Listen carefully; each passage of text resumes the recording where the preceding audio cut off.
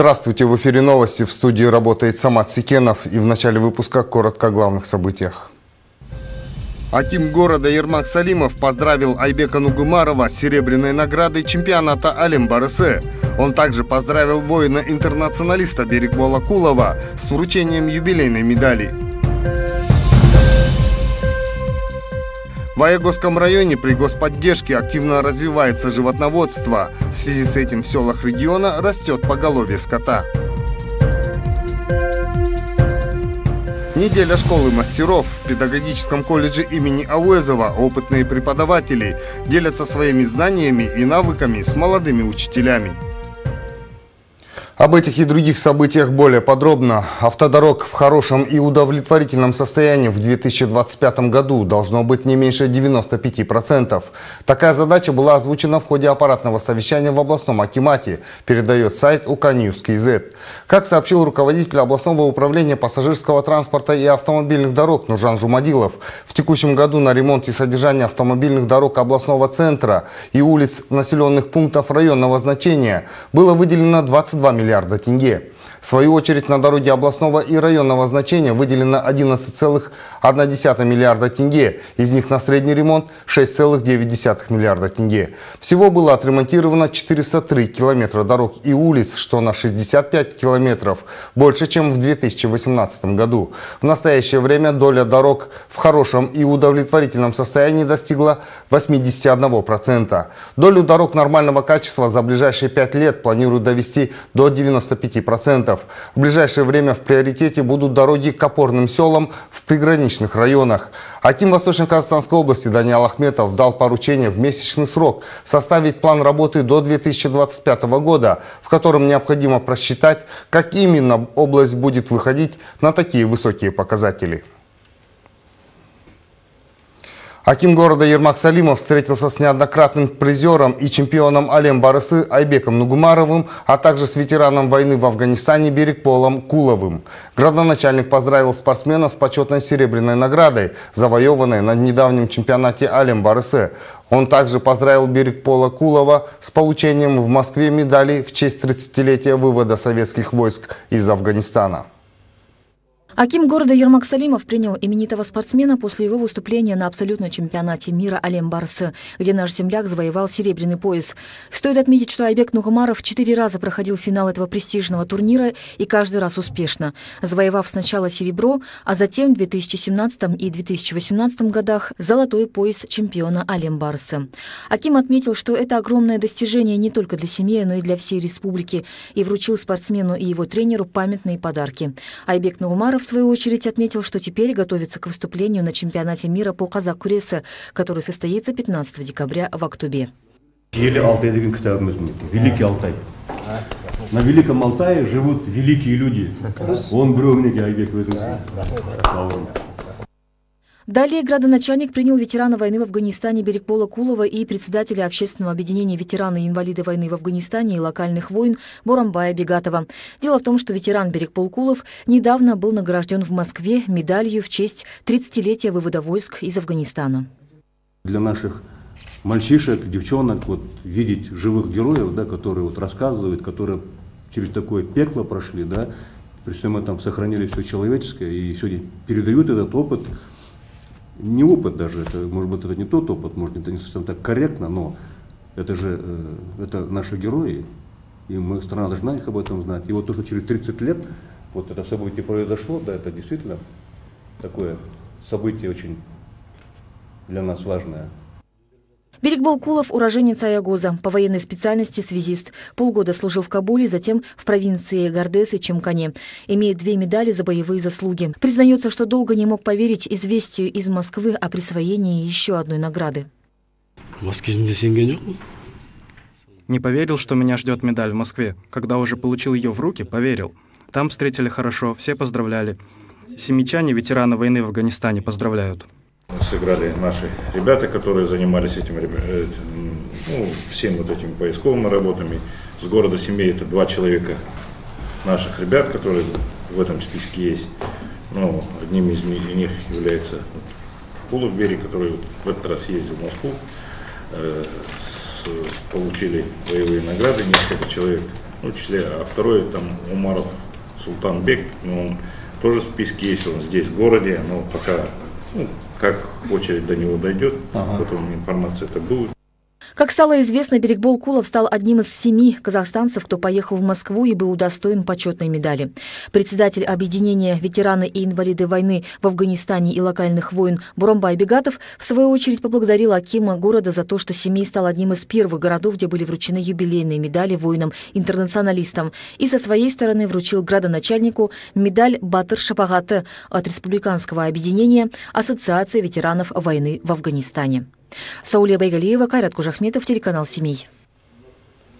Жители дома, расположенного по адресу Каюма Мухаммедканова, 19, обратились в нашу редакцию с просьбой разобраться в сложившейся ситуации. По словам жителей, в этом году в их доме недостаточное теплоснабжение, и они вынуждены согревать свои квартиры электроприборами. В свою очередь, представители теплоснабжающей организации говорят, что проблема появилась в результате регулировки внутри квартальных тепловых сетей. На данный момент система отопления дома постепенно нормализовалась. Лола Есенгарина переехала в этот дом месяц назад. С тех пор ее дети постоянно болеют. Причина – плохое отопление. Живем месяц, теплоподачи вообще никакой нету. Постоянно дома холодно, пол холодный, дети бесконечно болеют. На двоих детей у нас ну, на прием у врачей, на вот лекарства около 100 тысяч ушло.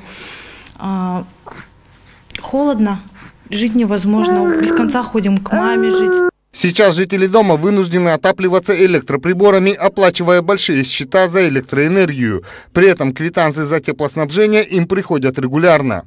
Сам многоэтажный дом построен 15 лет назад, и за время его эксплуатации никаких проблем с теплоснабжением не было. Но с наступлением текущего отопительного сезона они начались. В этом году температура для такого дома, для центра города, под носом у Акимата аномальная температура в квартирах. 15 градусов. У меня трое малолетних детей. При... Дети все болеют. Есть справки о том, что дети болеют. А, В доме стоят три обогревателя. А, Дома холодно. Вот в прошлом, позапрошлом году у нас, когда морозы были, было холодно. В этом году таких морозов нет, но все равно прохладно, холодно даже. В 12-этажном доме насчитывается 36 квартир. Жители утверждают, что никаких долгов за теплоснабжение у них нет. Проблему пыталась решить и местная КСК, но, к сожалению, безрезультатно. Тепло нам не дает котельная. Все загвоздка в котельной. Потому что у них сейчас э, прорывы. Вот, пожалуйста, вот здесь вот э, прорыв был от шестой гимназии. Они хомут поставили. Вот там за оградой тоже был прорыв. На той улице тоже был прорыв. В общем, на Пушкина везде у них вот сейчас в центре идут прорывы. А давление они нам, э, ой, циркуляцию и давление нам не дают. Чуть давление дадут, оно у них разрывается опять все. И делать они этот ремонт будет, вот сказали, вскрывать весной. А до весны как нам дальше жить? Недавно объект посетила специальная комиссия в составе сотрудников предприятия Теплокоммунэнерго и представителей тепловой инспекции. Комиссия изучила сложившуюся ситуацию и пришла к определенным выводам. Когда мы пришли, в данном доме нет персонала, обслуживающего жилой дом. Только одна женщина, которая вообще представления не имеет. А в каждом доме должен, в КСК, должен быть подготовленный персонал, который занимался бы этим наладкой, регулировкой внутридомовой системы отопления. После вмешательства нашего телеканала представители теплоснабжающей организации в очередной раз посетили данный многоэтажный дом и произвели замеры в узловом управлении. Температурные замеры соответствуют температурному графику. Э, Температура подачи 77, обратки 58. Расход воды был немного занижен. Э, В результате регулировки внутренней системы отопления, это работниками теплокоммунэнерго, э, тоннаж повысили с 6 до 8 тонн. Э, Также отрегулировали соседние дома по температурному графику и по тоннажу. По словам специалистов теплоснабжающей организации, в результате проделанной работы система отопления дома постепенно нормализуется. Теплоснабжение от котельной поступает в должном объеме. Самат Секенов, Рыскуль Мадвасова, Ельжан Макзумов, Кайрат Кожахметов, телеканал «Семей». Продолжаем выпуск. В Аягосском регионе активно развивается животноводство. В связи с этим растет количество сельских населенных пунктов, где увеличивается поголовье скота. Этому в немалой степени способствует реализация государственных программ. К примеру, сегодня одним из динамично развивающихся сельхозформирований региона является крестьянское хозяйство Сандыктас Акшийского сельского округа, которое активно пользуется механизмами государственной поддержки. Крестьянское хозяйство Сандыктас было создано в 2000 году. Сейчас в хозяйстве насчитывается около 300 голов крупнорогатого скота, 1000 голов маточных овец, а также поголовье лошадей. Достаточно у хозяйства и собственной сельхозтехники. Опытные животноводы хорошо подготовились к зиме и заранее заготовили корма в достаточном количестве. У нас есть техника, которую получили от государства в 2014 и 2015 годы.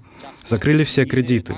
Теперь в планах приобрести дополнительную технику, потому что сейчас очень низкие проценты для сельского хозяйства. Раньше мы брали под 50%, а сейчас под 25%. Если с Нового года будут какие-либо положительные изменения, хотим еще закупить технику. Крестьянское хозяйство обеспечивает работой 15 человек. Шаймардан Бекбаев – один из них. Здесь он работает вместе с семьей уже в течение 8 лет. По его словам, руководство хозяйства создало все необходимые условия. Помимо зарплаты, люди обеспечены водой, углем и дровами. Кроме того, им выделяются продукты питания на полгода.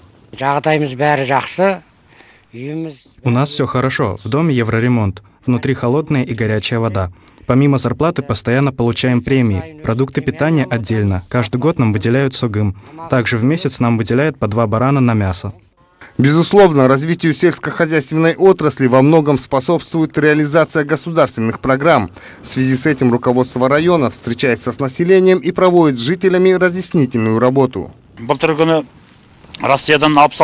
В прошлом году мы привезли из России 66 голов племенного скота. Сейчас выращиваем их. В этом году ожидаем только позитивные перемены, о которых нам рассказал Аким района.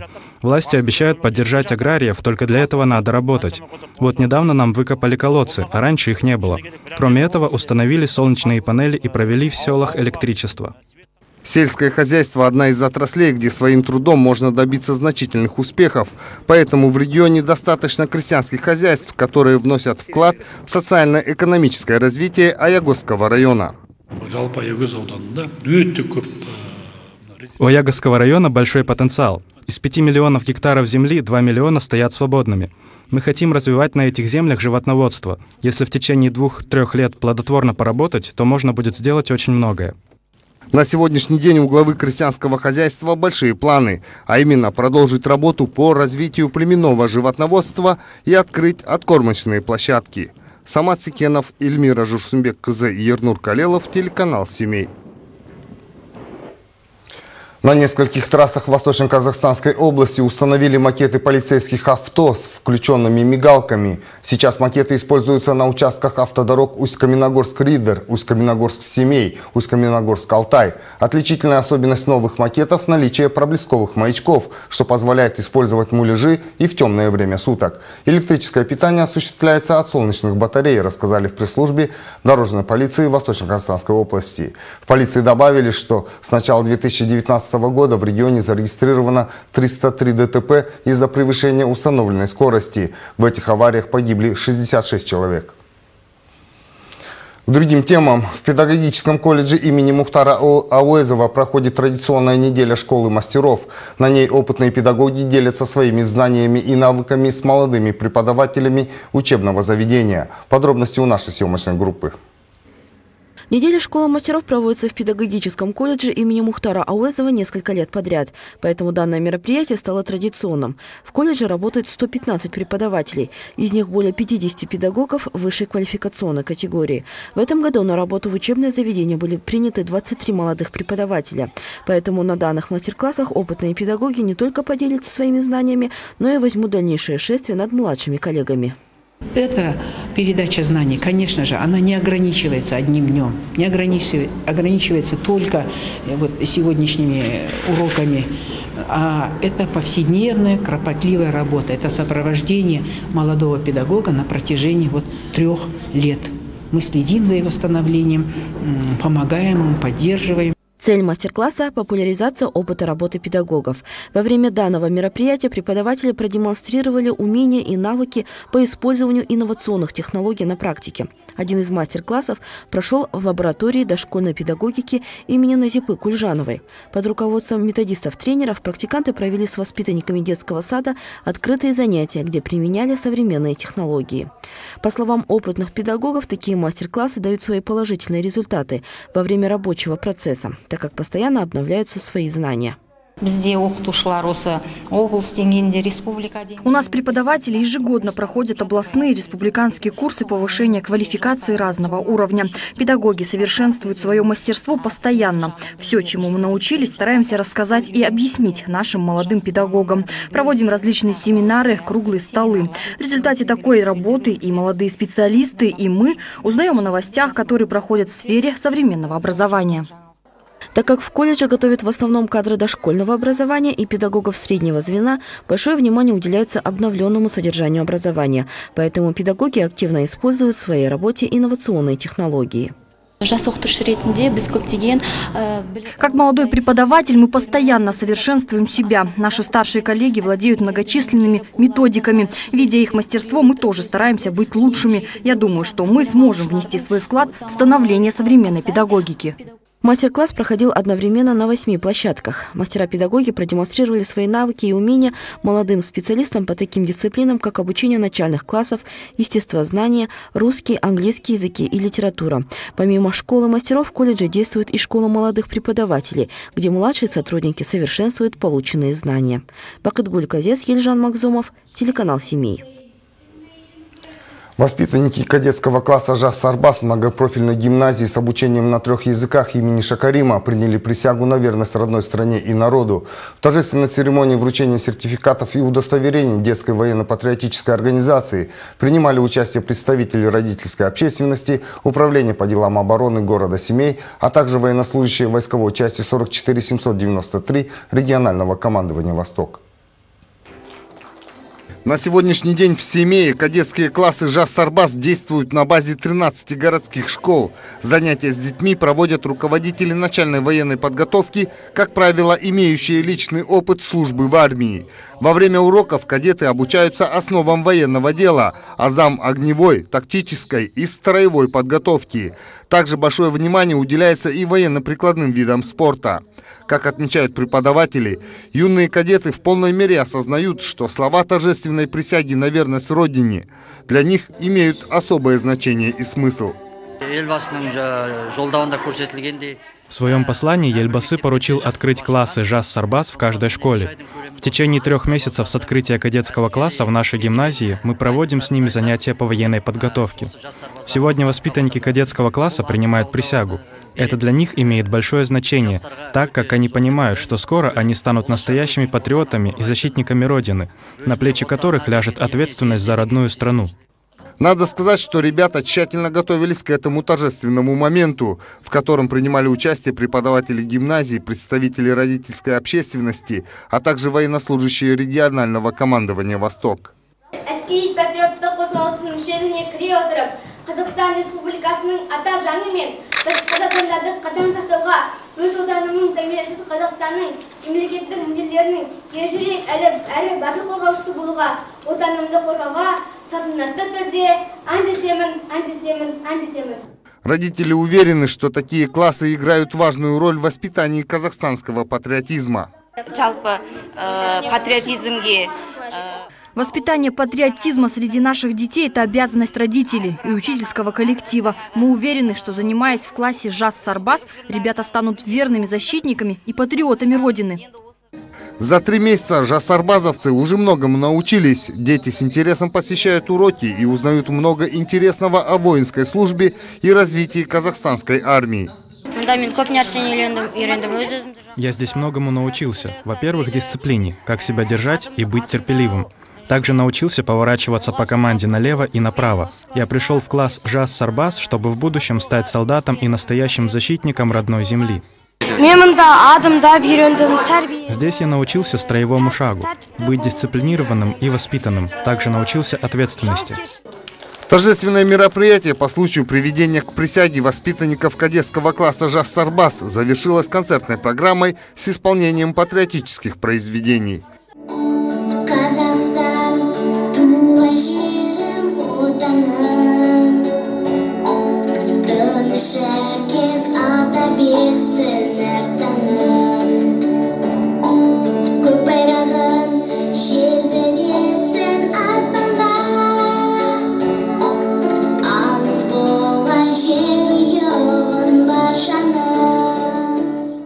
Самат Секенов, Рыскуль Мадвасова Ержан Макзумов, телеканал «Семей». Наши новости вы также можете увидеть на сайте семей На этом наш выпуск завершен. Всего доброго, до новых встреч!